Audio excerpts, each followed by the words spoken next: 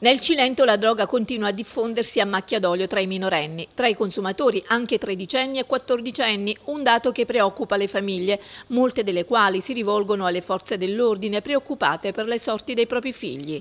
La giustizia dal canto suo prova ad affrontare il fenomeno non solo con azioni di repressione, ma anche di sensibilizzazione e di controllo nelle scuole. Da tempo i carabinieri entrano nelle aule con le unità cinofili, rinvenendo in alcuni casi anche piccole quantità di stupefacenti presenti, ma evidentemente questo non basta. I consumatori minorenni aumentano. Dire no alla droga, spiega ai giovani il comandante provinciale dei Carabinieri, vuol dire tutelare la propria salute e smantellare il mercato. Eh, il messaggio che posso lanciare è sicuramente sul disvalore totale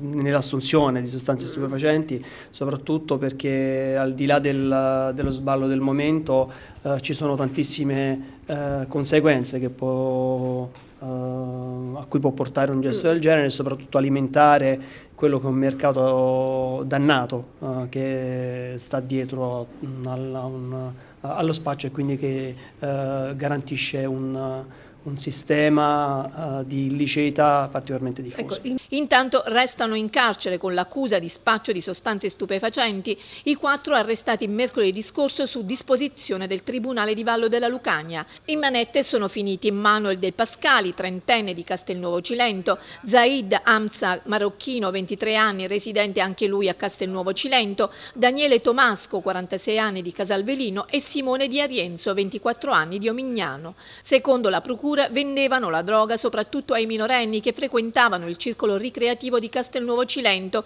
che è stato chiuso proprio durante l'inchiesta.